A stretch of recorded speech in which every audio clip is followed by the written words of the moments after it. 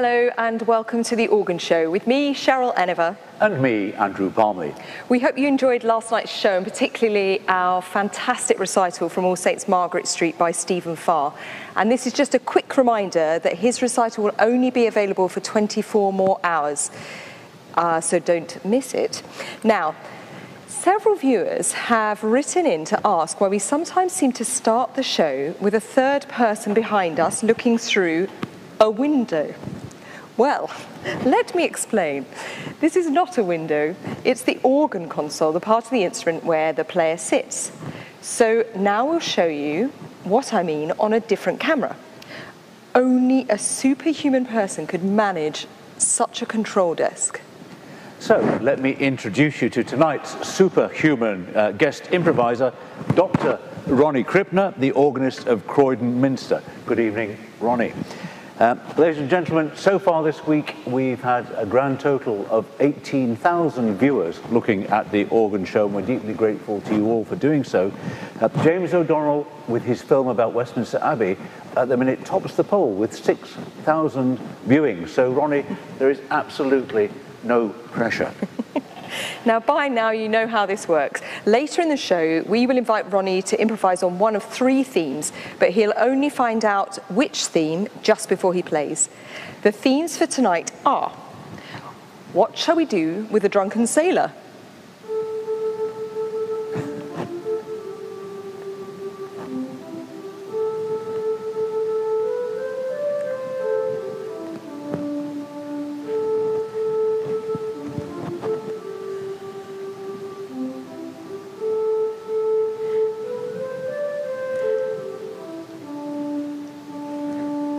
Thank you, Ronny. That was marvellous. And the second one is The Wellerman.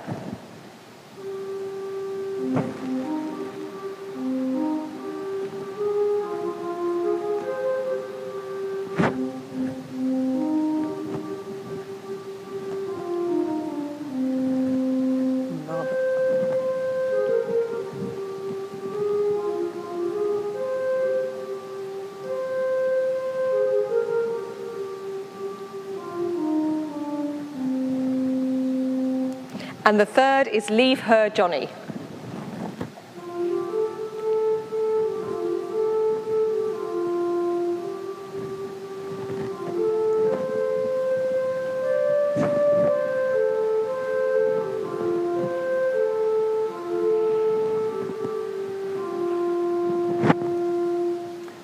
I'm not sure that I uh, recognise all those themes, but beautifully, beautifully articulated, Ronny. Thank you very much.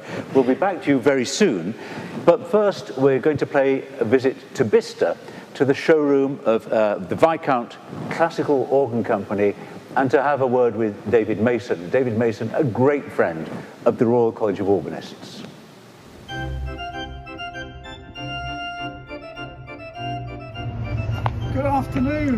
Welcome on this lovely sunny day to the showroom here in Bicester. Follow me through to the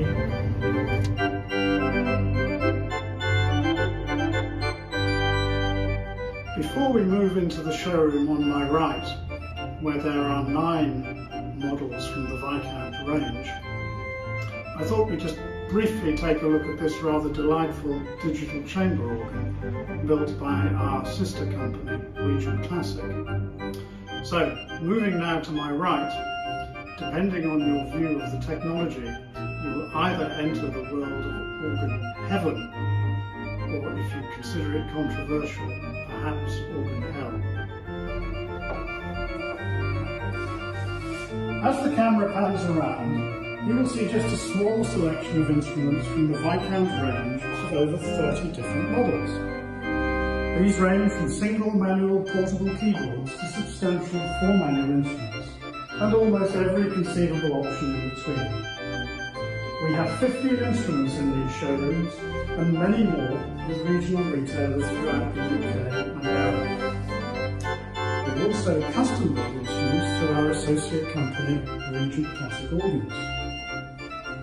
From these facilities in Bicester, thanks to the reach of the internet, we also send instruments all over the world.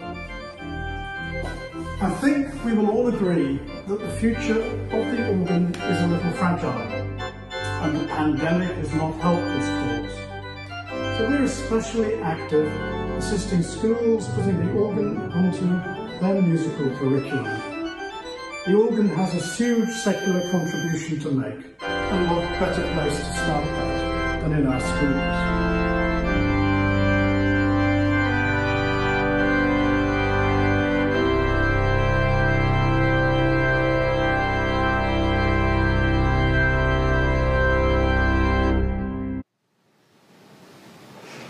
And now it's time for us to find out what theme Ronny's going to improvise on. So I'm going to grab one envelope from Morwenna here. Um, I'll take the middle one this time. And let's see. It is The Wellerman. Well, ladies and gentlemen, the theme tune for tonight is going to be The Wellerman. Uh, many of you will recognise this tune as a tune of great importance in recent times, a sea shanty at heart. And tonight, uh, it's to be improvised on by the organist of Croydon Minster, Dr. Ronny Krippner. Ronny, you've got four minutes and you're starting now.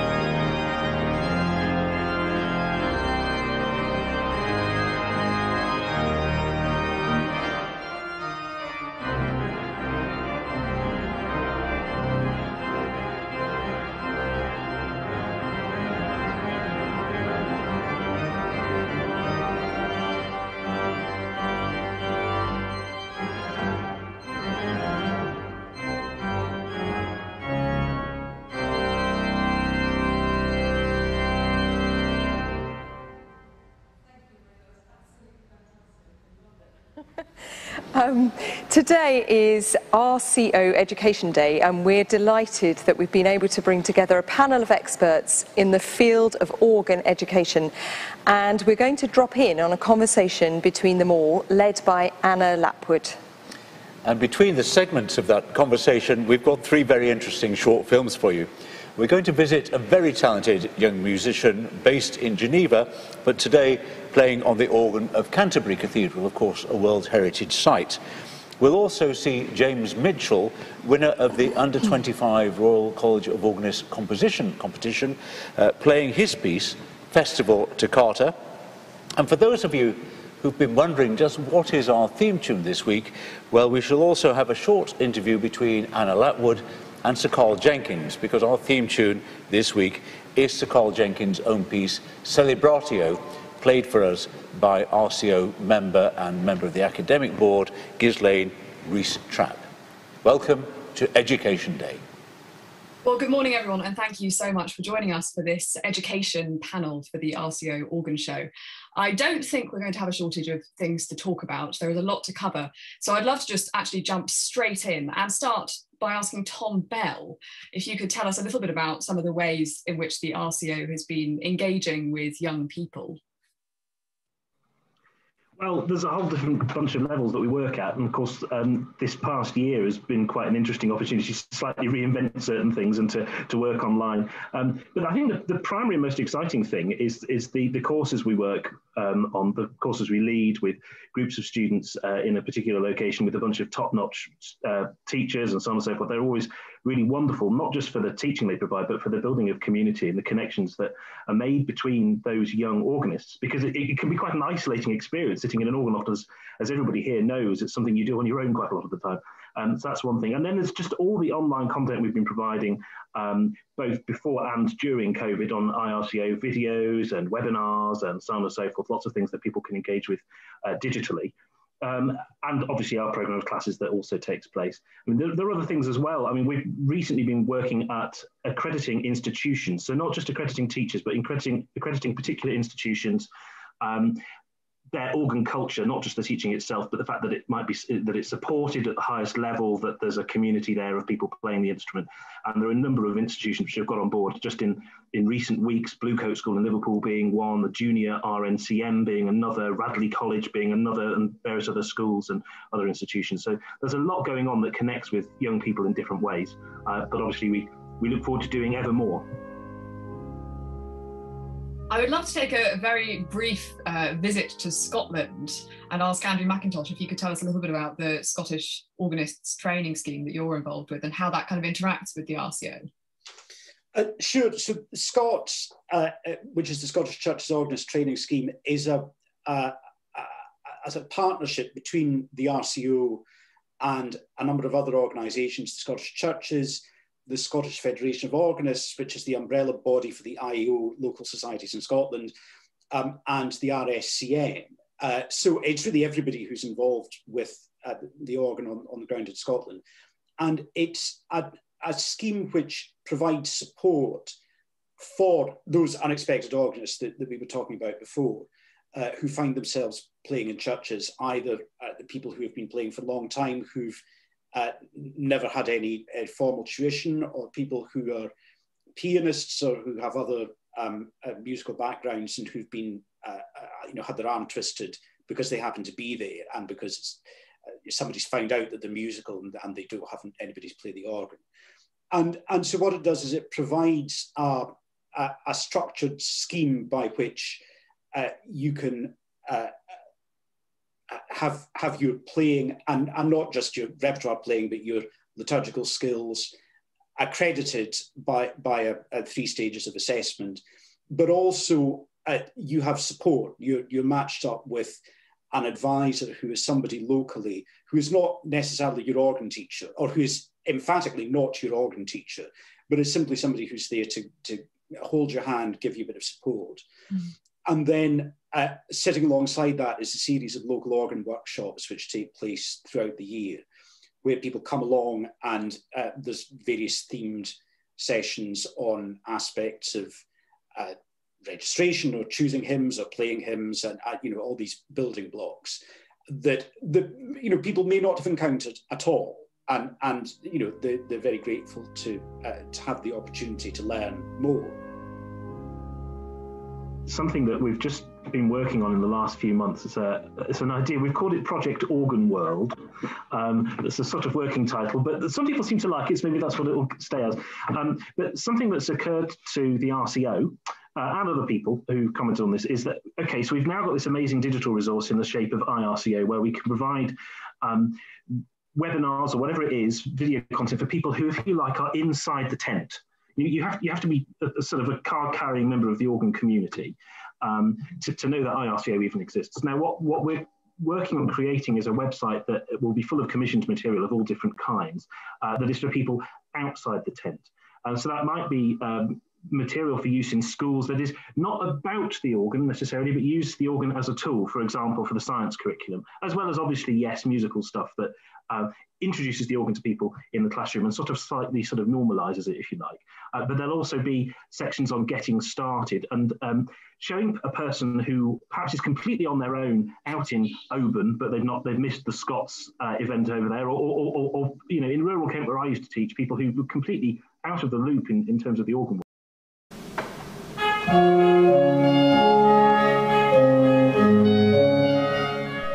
The Liverpool Bluecoat School is a coeducational, non-fee paying selective state grammar school founded in 1708. It is believed to be the only UK state school to have two pipe organs, an 1875 Father Willis organ and the school chapel's smaller 1906 Walker organ.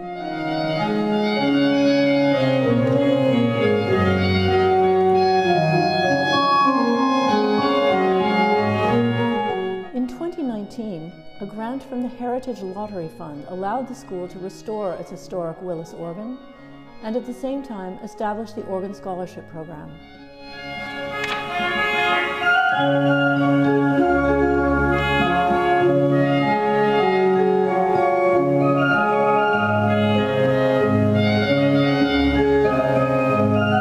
The students are taught not only on the two fine organs in the school, but also on these organs' big brothers Liverpool Anglican Cathedral's huge Willis organ, the biggest in the UK, and Liverpool Metropolitan Cathedral's magnificent Walker organ.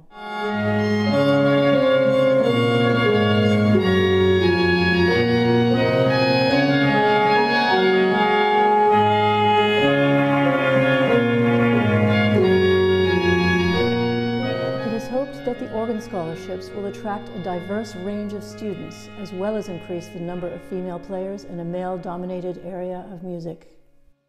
Yeah, it's really amazing. It was quite a surprising opportunity, but when it came up, I was really glad to take it.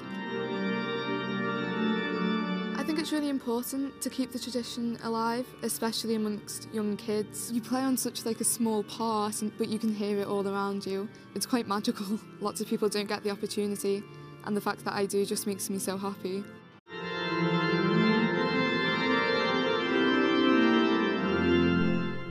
As part of the restoration of the Willis organ, students learned how organs are constructed, making trips to the organ company's shop and helping them set the organ back up in the hall. The school even recreated the 1904 removal of the organ by horse and dray from the old city center school site to its new building.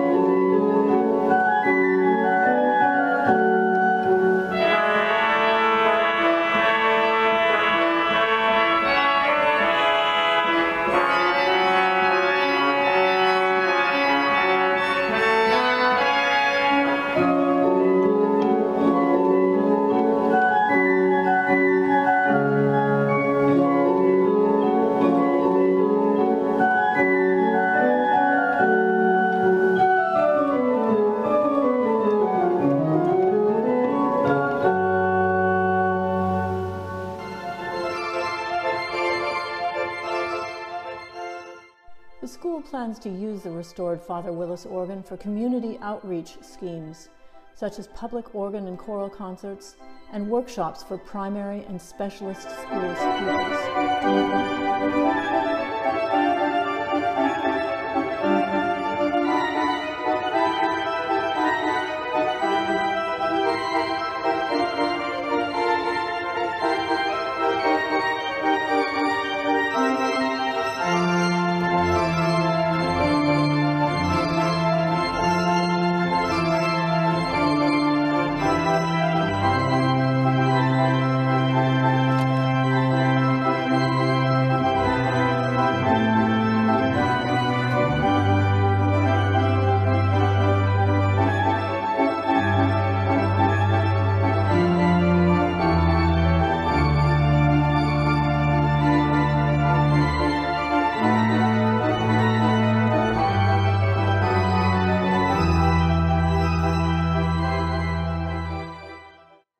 Hopes that by combining its own organ resources with those of the two great Liverpool cathedrals, a superb national music training opportunity for young people will be created, and the new generation of organ players will recharge a great British tradition.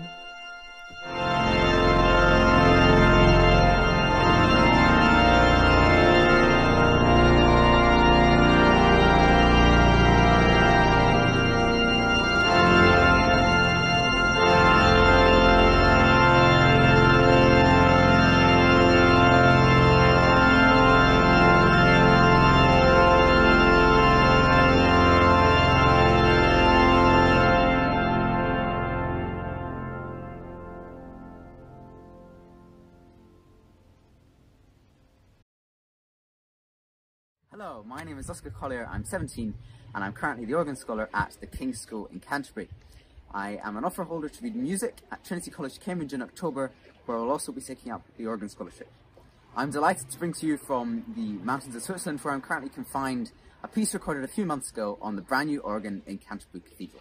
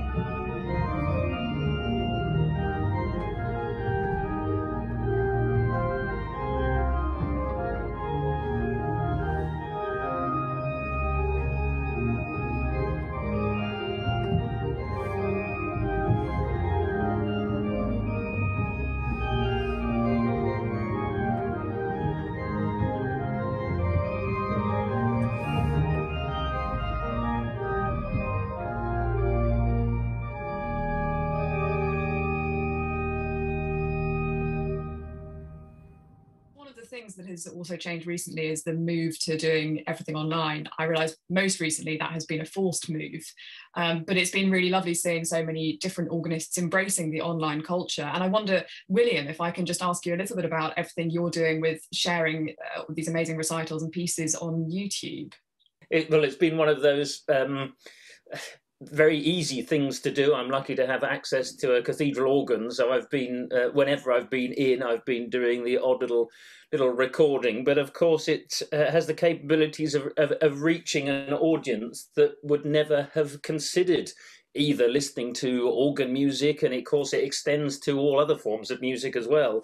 But uh, now I, I, I feel as if, in a very small way, what with uh, recording small nuggets of re- repertoire and also uh, my uh, fun and games with hymn sing along most weeks that uh, that uh, a completely different audience have have been uh, introduced to a, a, quite extraordinary instrument, and I hope that kind of uh, media attention or, or, use of social media continues. I know it's not to everyone's cup of tea, but for for me and the reactions that I've got, it's been absolutely tremendous.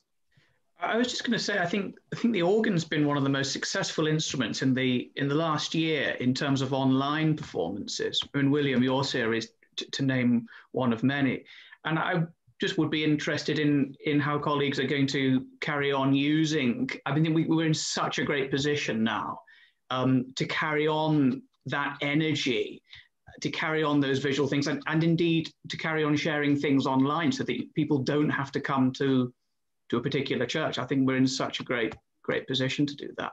Um, I don't know if any of the RCO team was going to mention this, but um, the RCO was kind enough to ask Frederick and me to run classes in teaching keyboard skills. And I know there have been other classes online, but of course, teaching keyboard skills is fantastic on Zoom.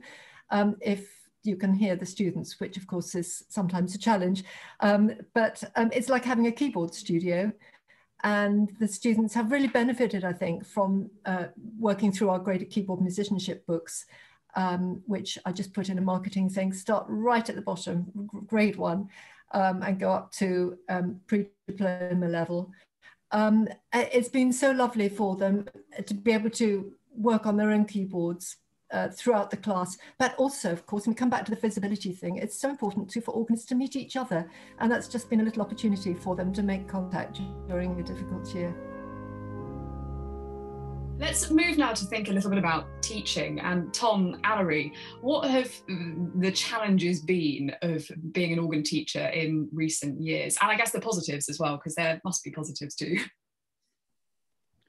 I think for me, the challenge is I mean, I, I teach at, um, at two schools, which are n- newly uh, accredited schools at Radley College and also at City of London School. And um, there, I think the challenge has been how to engage people of all different levels. It's um, it's easy to engage your um, your students who are, are high flyers and maybe come to us with a lot of piano experience, keyboard skills, notational skills. Um, but for me, the challenge is kind of at the at the lower end, how to engage um, people who maybe don't want to go on and take it to an organ scholarship or take it to uh, and, and to play in a church, for example. Many of us, as organists, enjoy exploring.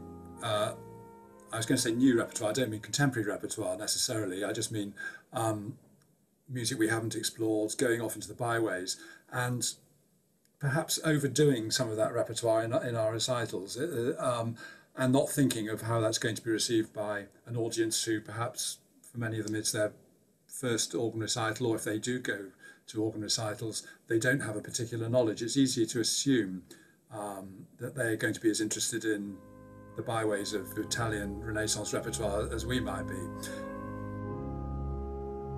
We of course want to be tremendously enthusiastic about getting people involved to start getting them started. But of course, it is that huge transition, isn't it, from you know just that initial banging away on the organ and loving the sounds to actually beginning to play.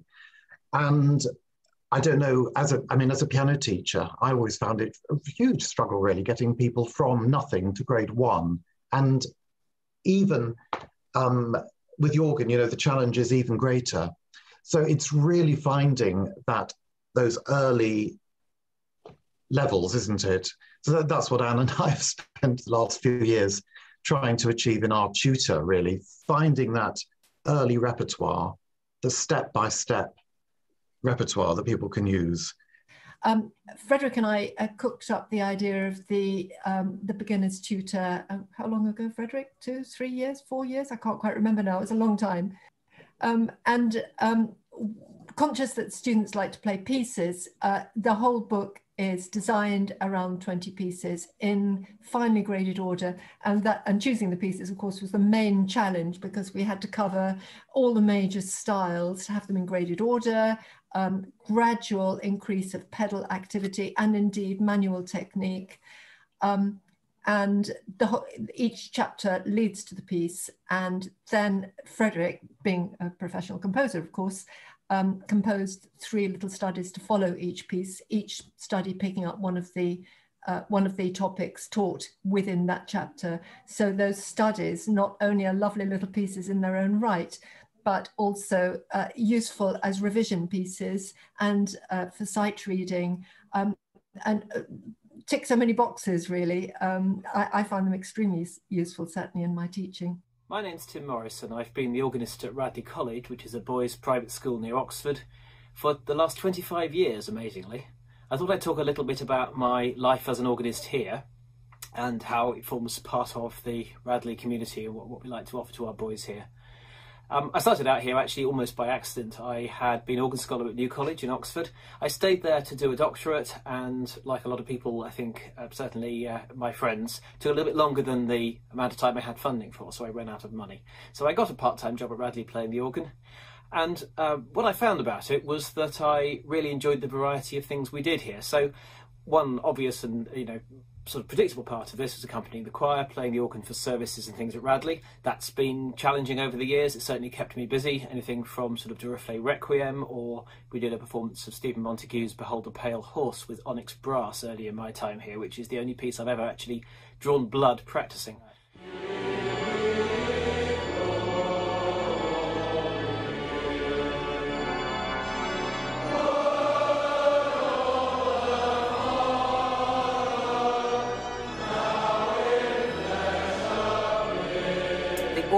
Radley for all of that time has been a bit of a mixed blessing, if I'm honest. It's um, it was built in 1980 by Hill Norman and Beard. It was a Baroque style tracker instrument, not something they went used to tracker actions, and that was one of its weaknesses. The actions always been rather heavy.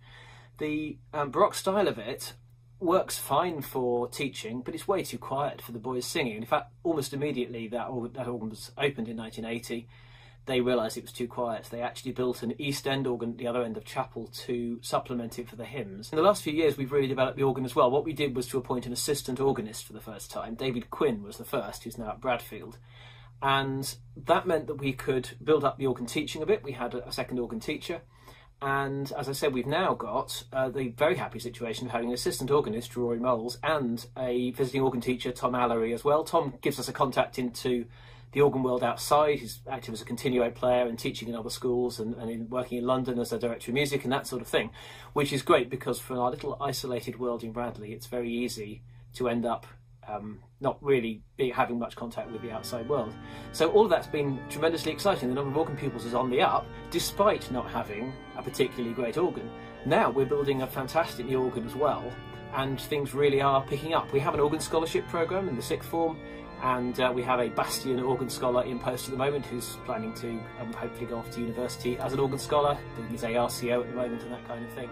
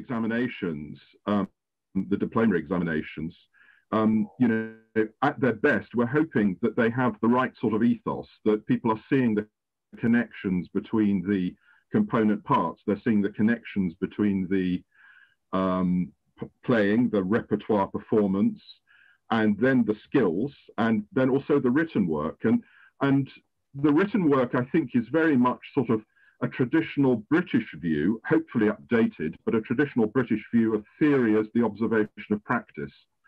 So we're, we're trying to get people to, to look at a variety of models and to understand what they're playing and what they're trying to perform from the point of view of contrapuntal techniques and harmonic language uh, and, and also historical inquiry. And with historical inquiry comes critical inquiry. You know, it's understanding compositional techniques and styles, uh, but it's also understanding something of the context as well, something of the of the reception and the, and the environment of which music has has evolved in particular ways for particular reasons. So I think that holistic view of the diplomas uh, we're very keen to emphasize, and I think we've always had that, but hopefully what we have now is a kind of, um, you know, 2021 version of that, that, that, that comprehensive ethos of interconnected skills, critical inquiry, and performance, and performance practices that are associated with that. Well, I wanted to raise the point about um, statistics.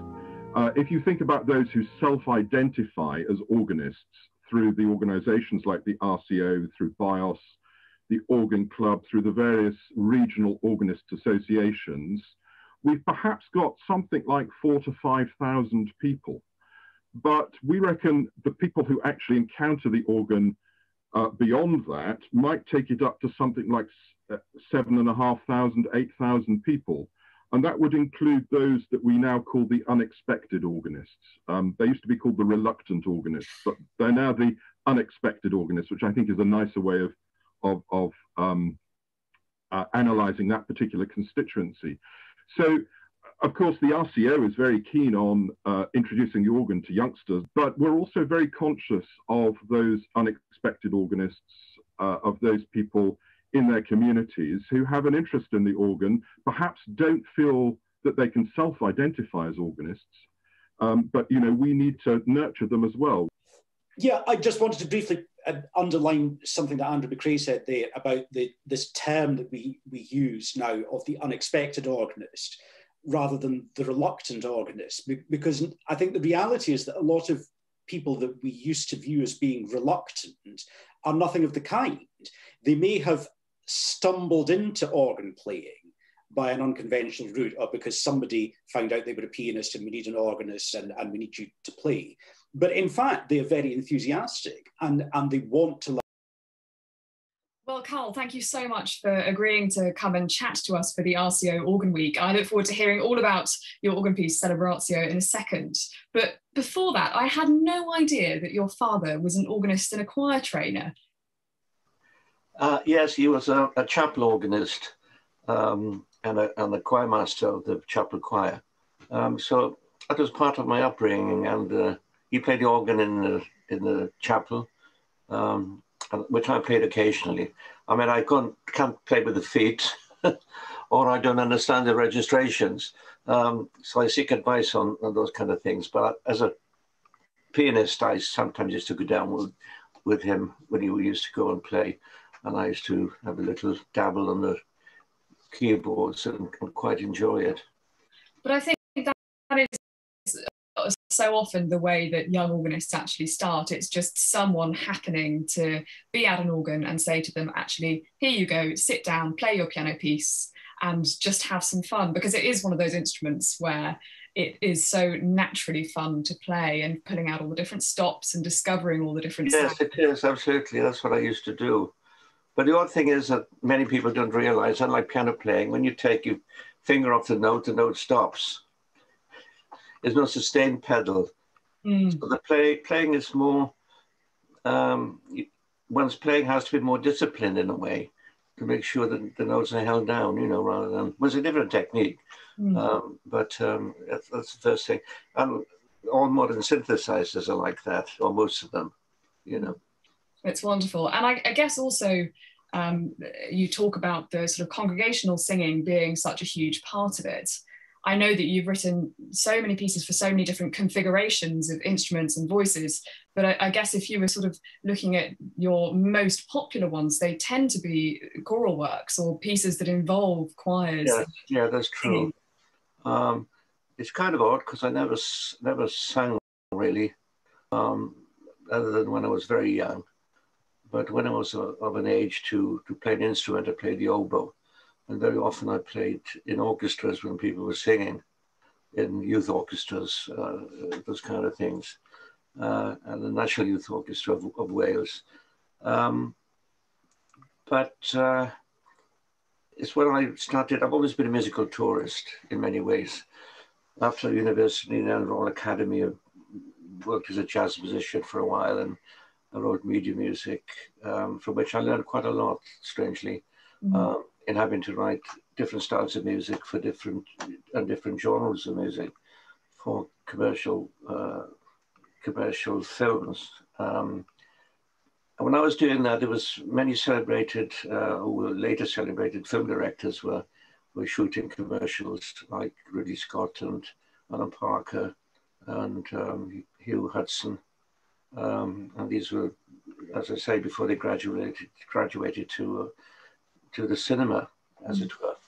Um, so all these different influences went into the into the melting pot and came out in what I when I reinvented myself when I was about 50 and found what I could what I was best at, which uh, wasn't jazz or anything like that. It was um, writing accessible, what I like to think of as accessible or tone of music anyway for for, for choirs.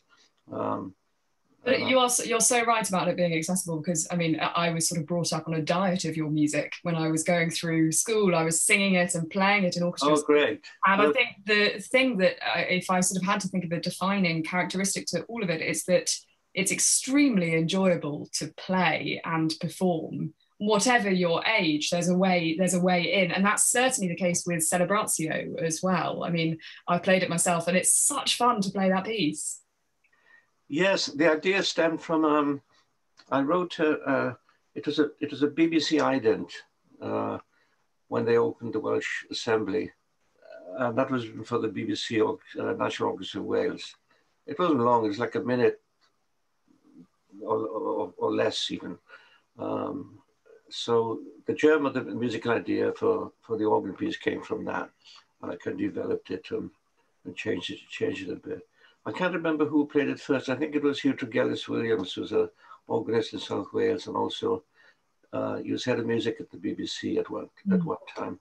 I'd love to ask you just one one last question, and this is actually on behalf of one of the girls that I teach, who is fascinated with composition. She loves writing herself, and um, whenever she has the opportunity to speak to a composer, she will always ask them what it is they think gives music the ability to um, encourage emotional responses. I realize it's not a, a small question at all, but she says, Why is it when I listen to certain pieces, I feel sad? Why is it that when I hear other pieces, I feel immense joy?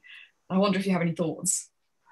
Well, one, one critic said of me in a deprecating way that I was um, emotionally manipulative as a composer which I thought was a, I took that to be a tremendous compliment, although he didn't mean it as such. Um, and I, I really don't know. I mean, my, my composing is based on, it's intuition based on a lot of craft learned at university. Uh, I read music in Cardiff, so which is very academic, harmony, counterpoint, fugue, all that stuff. I think Melvyn Bragg once said, if it, if it has memorability and longevity, then it's it's art, he said, or worth something, you know. Uh, uh, so I'm not any making claims in that direction, but um, I write from the heart, and a lot of people seem to like it. So uh, that's all I can say. I mean, I'm thoroughly modest in what I do. I mean, we all, as they say, stand on the shoulders of those who have gone before, mm. um, you know, and uh, my heroes are composers of genius, genius like Mahler or Richard Strauss or Bach and you know people people like that. Mm. Uh, and because I, I, I work in different genres, I was in, I like jazz music a lot. Uh, so I'm a bit of an all-rounder, as they say.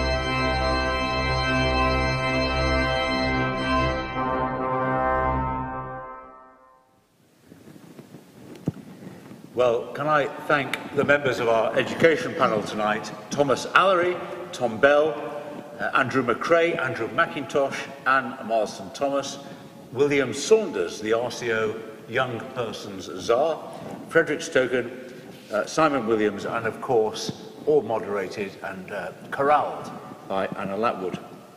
Now, that was a fantastic piece by Sir Karl Jenkins, and I'm delighted that so many people have discovered that piece this week through the organ show. Let me tell you, and this is not advertising, that it's available from Boosey and Hawkes. Uh, now, for another fantastic piece, as I mentioned earlier, James Mitchell's Festival Toccata. And then we shall have a brief visit to Eton College to our old friend David Goode, who will be uh, introducing us to a rather unusual performance of Lang's tuba tune. Hi, I'm James. I'm currently organ scholar at Emmanuel College, Cambridge, and I'll be playing my festival toccata, which won the under 25 category in the RCO composition competition. I hope you enjoy.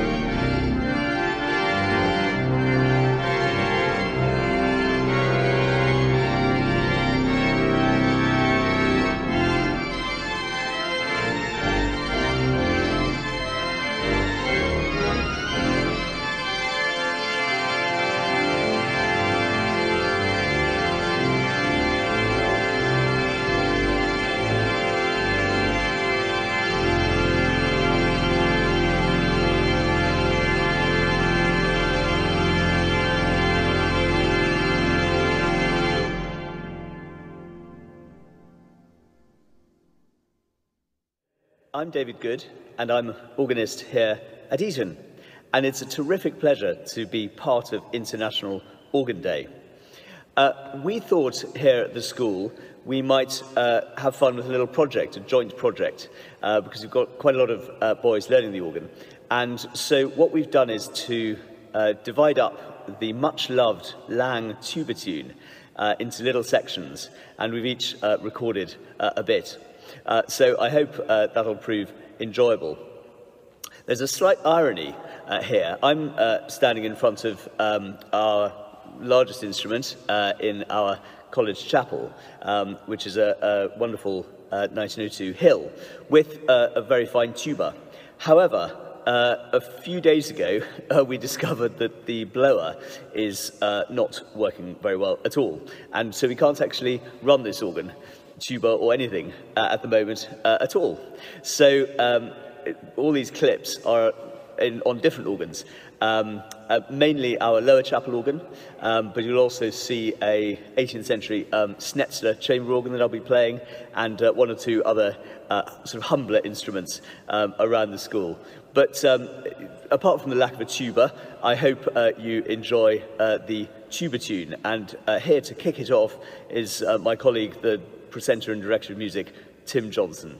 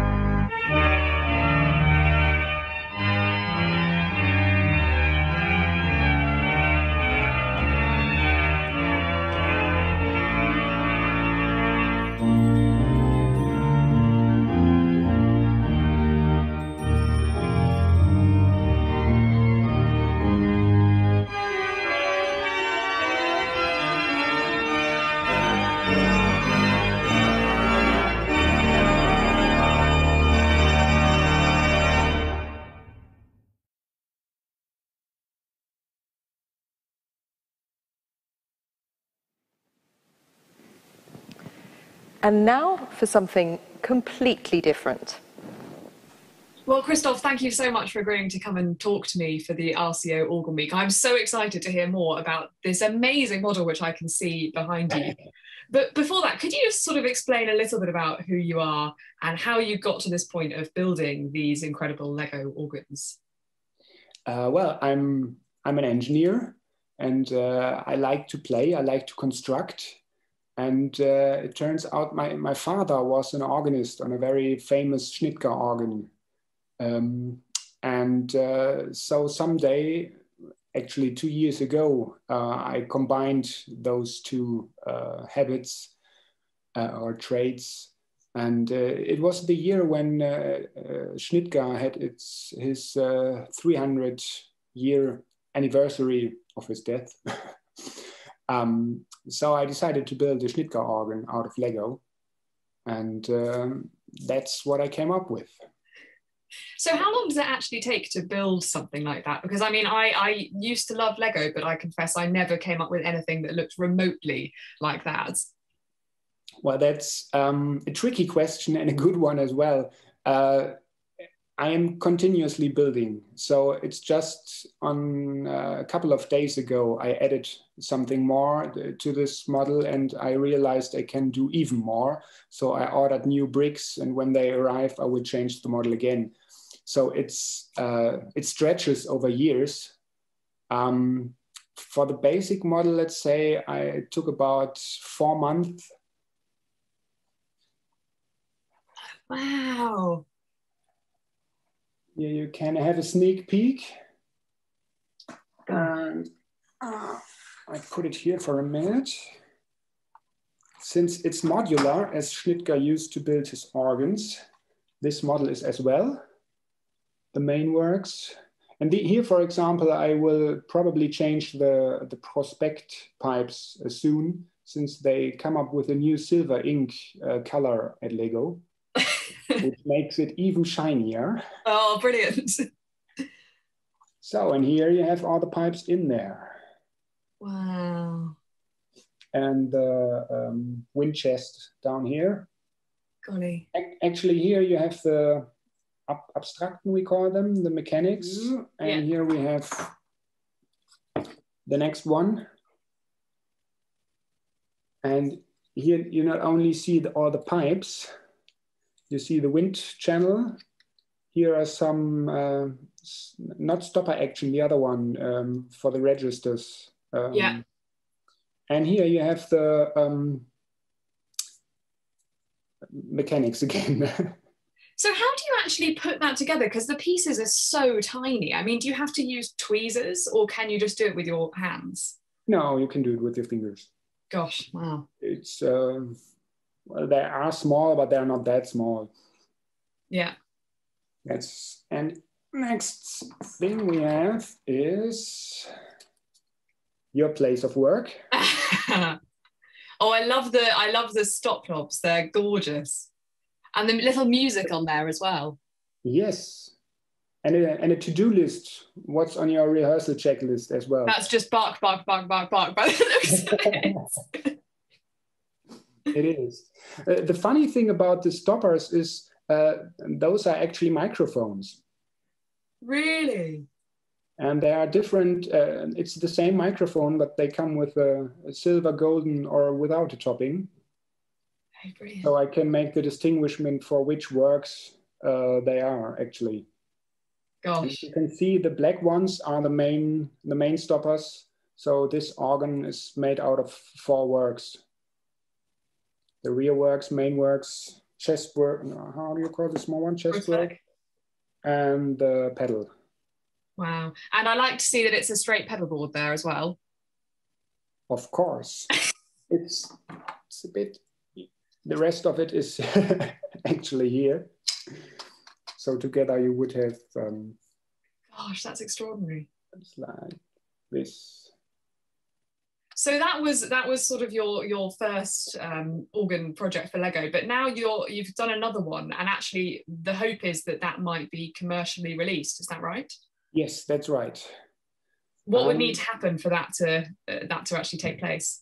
Uh, we need to to gather some more uh, votes on Lego Ideas, which is a crowdsourcing platform from Lego where you can uh, make proposals for new models.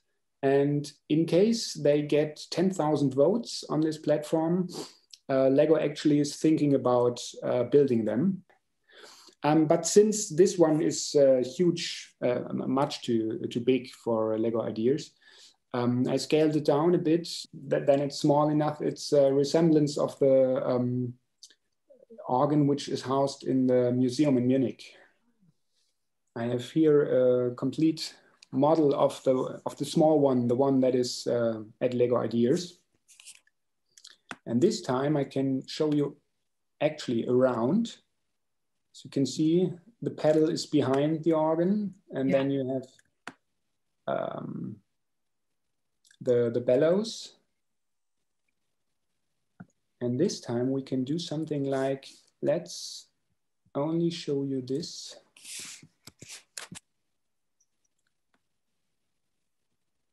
And you can see some of the details in there. for convincing the next generation of uh, organ kids, this would be great. Completely. I think so much of what we talk about as organists is trying to make the organ something which they encounter in everyday life. And this is the perfect way to do that, actually, because all kids play, well, I hope all kids play with Lego. But it's not just kids that like playing with Lego. Our producer and his lady friend spent all Easter Sunday afternoon completing this.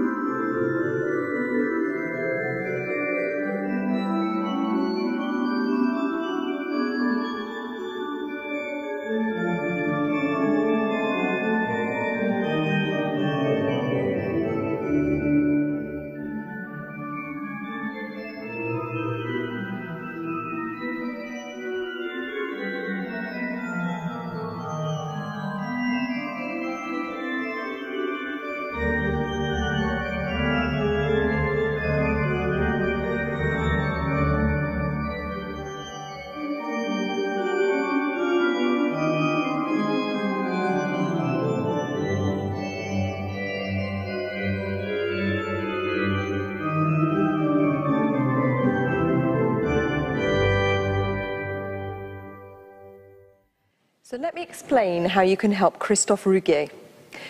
You can vote for this online um, at legoideas.com, and if we get 10,000 votes, Lego will actually consider producing it commercially, and then you could buy your own. Well, That's amazing. And just in case our, our viewers are mystified as to who Christophe Rouguet may be, he's the designer of this organ, which actually is a miniature replica of the organ in the St. Jacobi Church, and we shall be visiting that church tomorrow during International Organ Day. Now, I'm delighted that we're joined uh, this evening in the studio by Morwenna Campbell-Smith, who was our announcer last night for Stephen Farr's recital from All Saints uh, Margaret Street at Morwenna. Welcome. Um, and how was last night for you? It was amazing to be the one member of the audience ah. actually in the church, hearing the organ in the building it was designed for. And that wonderful organ just fits that acoustic like a glove. It's just wonderful. And I think what it says is that when this pandemic is over, when we can go to concerts, go and hear the organ live in the building. It's this thing they tell us as organists that we're playing the building, not just the instrument. And it was so very true last night. Of course, our, our president, Gerard Brooks, who improvised for us on, on day one, uh, is always telling organists, get over the fact that we play, actually go and listen to somebody else play. And it's very important to listen. Stevie's recital was well worth listening to yesterday. Yes, it, it, was, it, it, it was amazing. And what was so extraordinary was the range of colours, and I do hope this came over even on YouTube, was the range of colours. And with that organ, it's never too it's never too loud, it's never strident. I mean, it has enormous full sound. You can sort of almost feel it in your body when you're listening. But it's not, it's not strident, it's not harsh. And yet when he was playing those very, very quiet pianissimo parts in Cecilia McDowall's piece, you could hear them. It was like little, little jewels in the air uh, in that church. It was, it was a wonderful experience. Well, I spoke to him today and he was pleased with his performance. Now, as you know only too well, at the start of the transfer from this place, St Paul's Knightsbridge, to your place, All Saints Margaret Street, uh, we had a technical problem and we fell into silence for a while. Now, certainly Cheryl and I had a moment of panic, but what was happening at your end? well, you know, when the line, when the line dropped, uh, my feeling was that those those designers, these architects and designers and builders of that beautiful Victorian interior were getting their own back on us, for filling it full of gizmos and wires and cameras and little boxes and making a complete mess of that interior with modern bits and pieces. So, well, it was very nerve-wracking. And of course, Stephen was in that little box, that weird little box with the grill round it, sitting at the console, completely the opposite side of the church compared with us. We were in the vestry. Um, so I was running backwards and forwards, and Stephen was saying, What's happening? Are we on? What's happening? And I was running backwards and forwards across the church and, say, and, and, and reassuring him that we were doing what we could do. So eventually, of course, we did persuade the technology to work. to behave, yeah. yes. Well, uh, ladies and gentlemen, that recital is available online for a further 24 hours. Uh, it was stunning. Our chief examiner, uh, Stephen Farr, uh, playing a marvellous uh, programme, do have a look at it if you've got the chance. Uh, so as we come to, towards the end of our penultimate programme in the organ show, I, uh, can I remind you that if you're interested in the organ in any way, then our strapline is the rather cheesy, we are the first stop for every organist. If you're interested in us then, uh, if you'd like to join the Royal College of Organists or make a donation or find out anything at all, please go to rco.org.uk slash support.